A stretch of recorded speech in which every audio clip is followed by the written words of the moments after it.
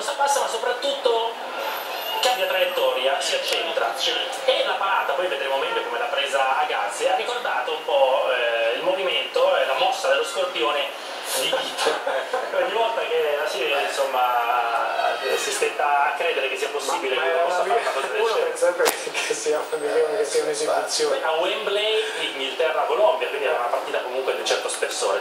La differenza tra l'intervento di Wembley e quello di oggi è che Ghita poteva tranquillamente prendere la palla tra le braccia e accingersi al rinvio, come si diceva una volta.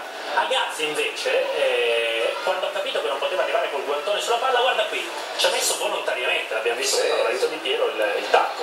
Poi da dietro È si stato, è vede stato bravissimo a, cercare, a cercare di mettere il tacco alla gamba, è riuscito a fare un gesto, un movimento e si è salvato, però Guarda da la barriera l'ha messa male. Da qui si vede bene. È Esatto. superato. Non ce la può fare, tac,